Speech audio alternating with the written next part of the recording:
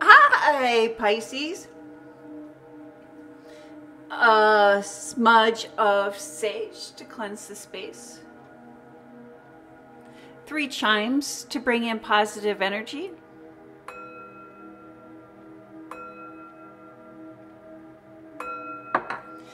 This is a general reading for the zodiac sign of Pisces. If you have Pisces anywhere in your birth chart, this is your reading. Welcome to Remedies Alchemy and Tarot. My name is Greta. I am an intuitive tarot card reader. I do look at the sun placement, the moon placement, and other planetary placements to get a good idea of the serenity or the energy that is surrounding you at this time. But first and foremost, I do trust and rely on my intuition. It is also my intent that during this tarot card reading, you learn to trust your intuition as well. I think that the tarot is a wonderful way to vet what our inner voice is telling us, where our inner wisdom is guiding us. Thank you, Spirit. Messages for the sign of Pisces. What would you like the Pisces to know or to be aware of? Or for this reading. Look at that, the Ace of Wands, the King of Pentacles, which is the richest card in the tarot, as is confirmed by that bell of the phone. Thank you, Spirit. Messages for the Pisces. What would you like Pisces to know or to be aware of for this reading? Thank you, Spirit let me just line those up just a hair. There we are. Pisces, the foundation, the basis of your tarot card reading this week is the Hermit card. Um, a Hermit card, that is the teacher within. And that is following your intuition, following your guiding light, and trusting that. But it seems like there's been a pause or a break. Perhaps you're not trusting your intuition quite as deeply as you once have or should. Followed by the King of Swords, which is uh, contracts, agreements. And this contract can be a verbal contract or a written contract. But in regards to a contract, in regards to an agreement, you're paused. There's some confusion about this contract and or agreement. Let's see how that plays into the rest of your tarot card reading this week, Pisces. In your public life, and this can be your career, education, business, money, and finance we start off with this wonderful Nine of Pentacles, which is that we have everything physically. We have created an environment that is ripe for manifestation. Followed by the Ace of Pentacles, which is a gift a physical gift. This could be the gift of money. Um, it could be a home, a automobile, but it's something that you can touch. A physical gift. Followed by the Knight of Swords. I like to call this my only Fool's Rush in card. It's like taking action without having totally uh, total understanding or total clarity on a situation wanting or needing more information. Only fools rush in. You know, and sometimes it's okay to rush in without having all of the answers, Pisces. Followed by the Seven of Cups, which is one of my a lot cards. There's just a lot going on here. We can see that there's seven cups, but in each of those cups, there's something different. And then we also have the clouds here, which is a confusion about everything that is being presented to you, everything that is going on. And you're lost in your shadow self.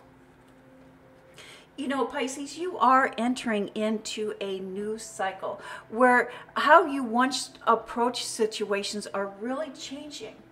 There is a lot of pressure here for you to prove yourself. That is why we have this Knight of Swords and this Seven of Cups. You're feeling a lot of pressure to prove yourself. But I don't think that this pressure is coming from outside sources. I think that this pressure is coming from the internal self, coming from your shadow self, coming from your ego. Perhaps you were in a situation similar in the past, and now it is time for you to perform. And you're performing beautifully. You're performing just as exactly as is expected or um, how you should. But there's an internal pressure to perform. And it looks like it's coming from a past event, a past experience.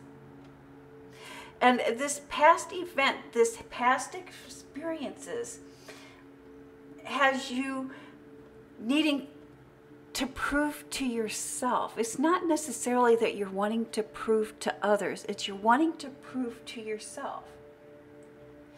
But this internal pressure uh, to prove yourself, there's two sides of, of that situation where, you know, it when we have something to prove to ourselves, we set the bar, the bar really high, and it gives us uh, something higher, something greater to achieve. But the flip side on that coin, coin the flip side on that coin is if we set the bar too high, we're setting ourselves up to failure. And so while we are succeeding and we're uh, reaching higher achievement levels because we've set the bar so high, we have unrealistic expectations to ourselves. And when we fall short, we get easily discouraged. But Source is saying you are performing at or above the expected level. Though that pressure to succeed that pressure from to be better is coming from within. And it's time for you to be very realistic. I like the idea of setting high goals. I like not being um, captivated by um, what other people expectations are um, you know it's it really does go back to that saying where you know shoot for the stars and land on the moon. It's like yeah we might have not made it to the stars but look i did land on the moon which is a feat which is an event that is well recognizable that we need to give our credit for um, sometimes even though you know success doesn't always come wrapped in a pretty package. Um, you know, true success um, comes through our failures, comes through the um, not reaching our goals, even though we are um, succeeding. And it's important. And Spirit, Spirit is saying that it is important, especially during this first week of the fall equinox, which is the nature bringing things back into balance.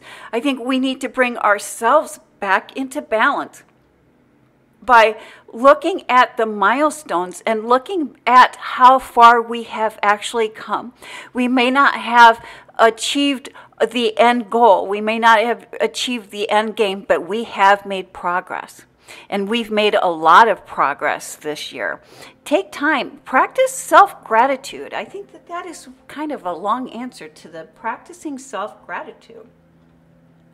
And Pisces, in your private life, and this would be your love, home, family, and friends, you start off with this Four of Wands, which is new relationships, new partnerships, new agreements. Are you planning on getting married, planning on being engagement, planning on um, moving in together or co creating with someone in your personal life. This card is indicating marriage because of the King of Swords, which is the contract. But there's something about this relationship, something about this new beginning, fresh start with someone in your private life that is giving you pause. Giving you pause. Is there, maybe there was a red flag, but look at this. We have victory over uh, competition, followed by the knight, followed by the nine of cups. The feast is set, the banquet is ready, and you're waiting for something to happen. You're waiting for something to arrive. And here's that Five of Cups. There's something in the past that is giving you pause. And when something from the past is holding us captive or giving us pause, that is source, that is spirit indicating that there is still a lesson here to be learned. As soon as we learn a lesson, as soon as we hit a certain milestone, we will naturally progress. We will naturally move forward. And so if we feel like we're on pause or if we're still stagnant, there's something else there. There's something in the past for us to see before we can move on to the next step. But again, you are entering a new life cycle. The energy is ripe for you to enter that new cycle. But in order to enter that new cycle, we must first understand what has happened within us. And so many times, especially when we're dealing with a situation from the past, um, we look at what other people have done have what other people have said and done. We're looking at other people's actions. We're looking at the physical environment.